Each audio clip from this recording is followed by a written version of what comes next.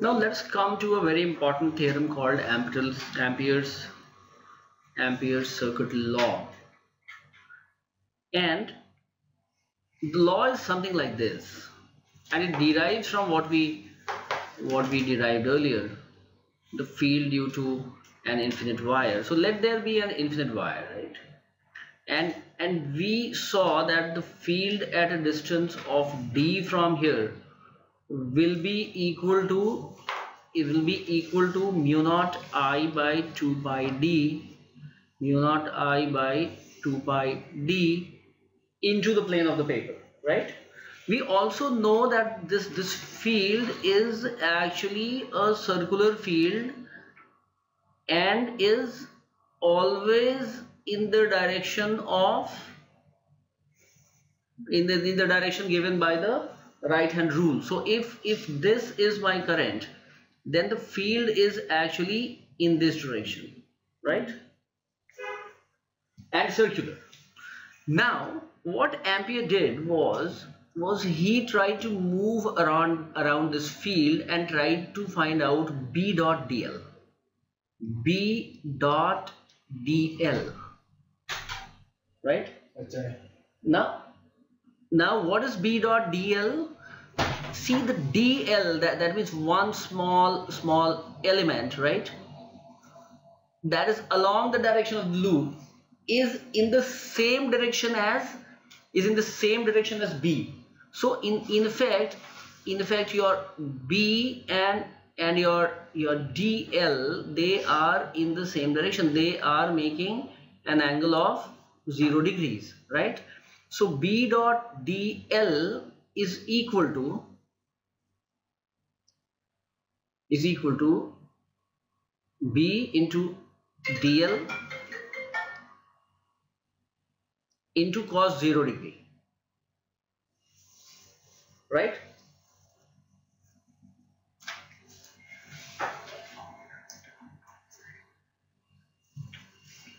which is which is which is nothing but and, and he went all around the loop. So so we put a circle here saying that we are moving in a in a loop. That means our starting and the end point are the same.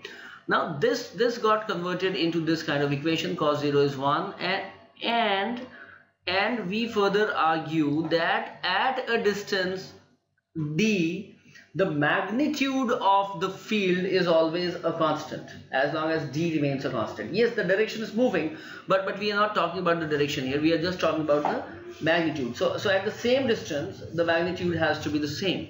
So so that becomes so so b being a constant that comes out of the of the integral sign and only dl remains. So so we in effect have to integrate the length total length of the loop which in this case becomes which in this case becomes 2 pi d right? We are moving on the circumference of a circle whose radius is d. So that is 2 pi d. And what is the value of b? B we had found out to be this right? So it was mu naught i upon 2 pi d into 2 pi d right? And they cancel.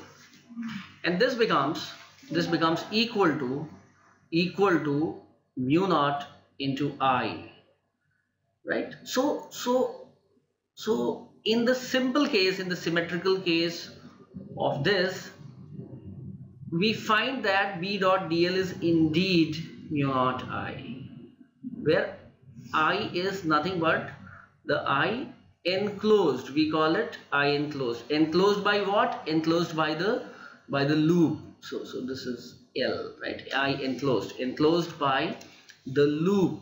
Let me let me find out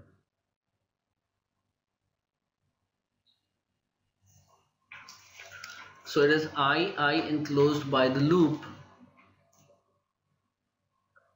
So mu naught i enclosed right?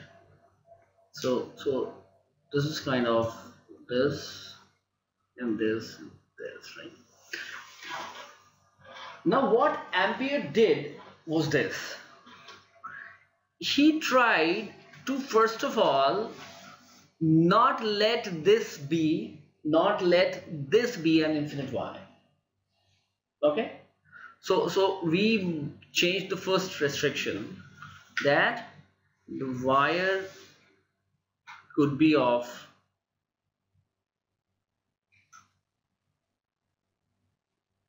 would be of finite length.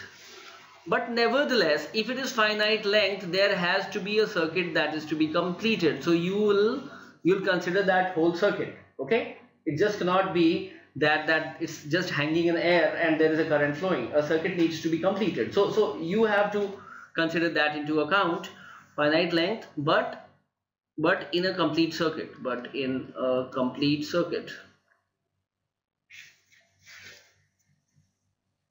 now the second thing is that he said it's not essential that there is only one wire. So there could be multiple wires and not all necessarily centered at the center of the circle right? So there can be multiple wires. There can be multiple wires.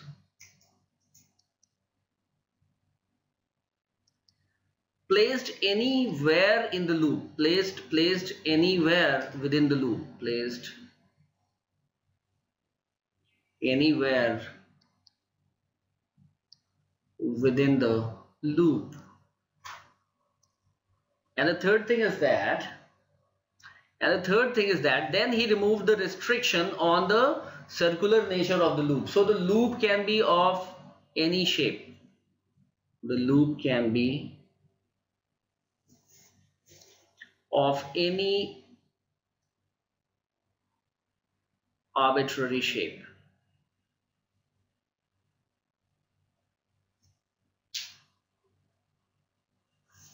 Can be of any arbitrary shape, right? and then too this held. And this is what is called the Ampere's. Ampere's circuit law.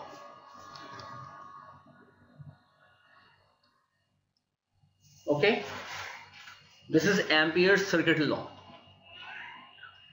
fine now how do I know what is the current? So current direction can also change. How do I know what is I enclosed? Right? What is my I enclosed?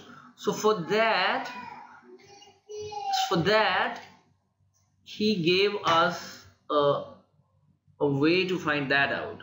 So let us say that a stretched membrane, uh, there is a membrane stretched across the loop okay? If if a membrane is, stretched across the loop stretched across the loop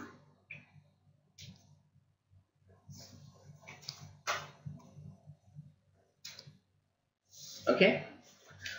Then the current that pierces that loop then the current that that pierces that membrane pierces that membrane is is the current enclosed. Get that?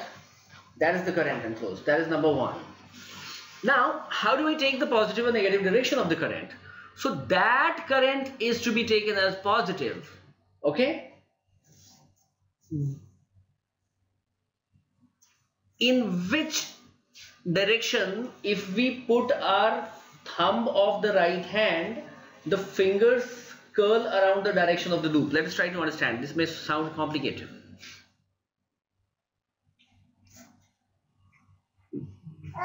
If we if we keep if we keep the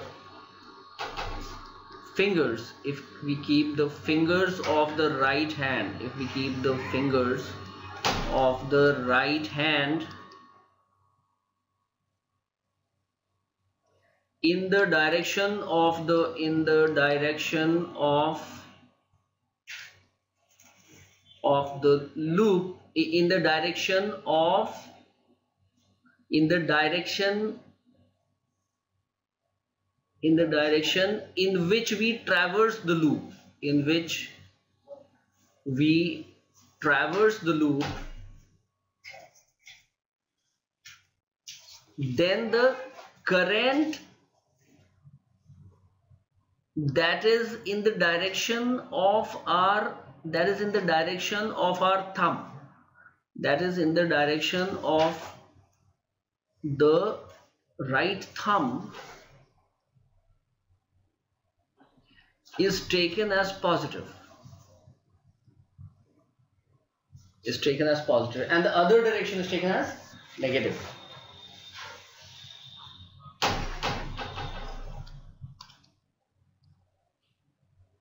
And the other direction is taken as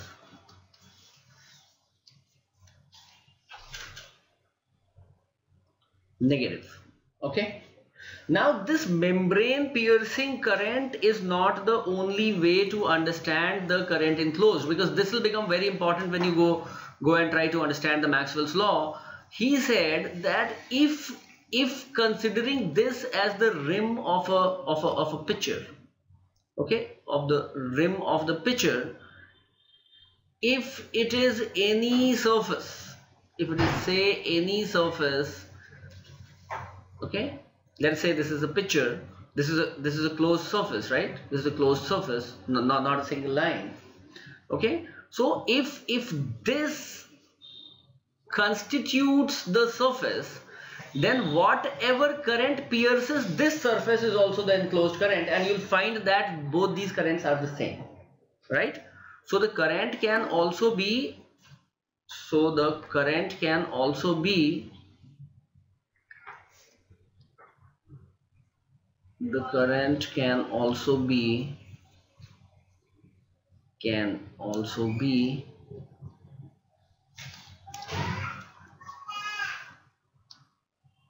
that current which pierces the surface of the pitcher whose mouth is the whose mouth is the rim of the loop. Whose mouth is the rim of the loop. This becomes very vital when when maxwell asked a question. And and and that led to a whole new field of of the of the electromagnetic waves right? So so that that will become extremely important there but as far as our Ampere's law is concerned, it is B dot dl over the whole loop is always equal to mu naught into I enclosed.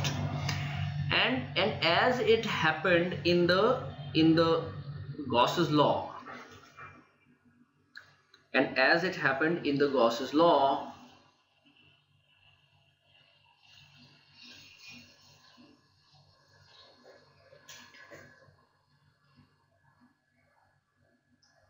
okay? So as it happens in the Gauss's law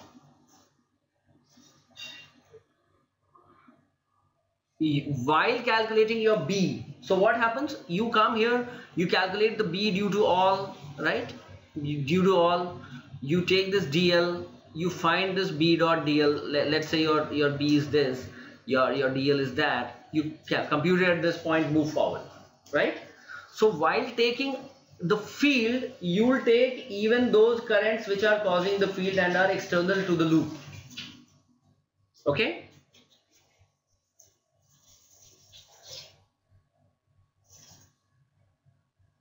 While considering while calculating b while calculating b we will take take even those currents even those currents which are currents this is this is double r right? Currents even those those currents which are external to the external to the loop. Okay but finally, the, the, the B dot DL that you'll get will be mu naught into I enclosed, right? Right. Sir,